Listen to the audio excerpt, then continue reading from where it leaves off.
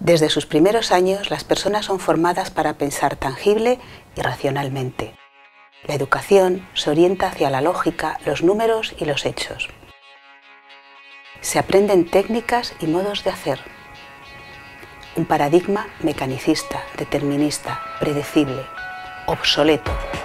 Bienvenidos al salto cuántico, donde el pensamiento, realidad y emociones están conectados el éxito está en la capacidad relacional.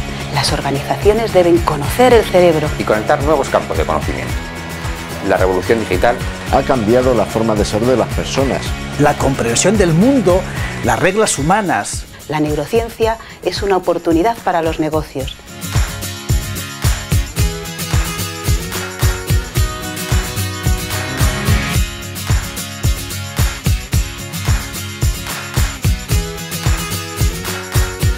nunca volveremos a ver el mundo de la misma manera.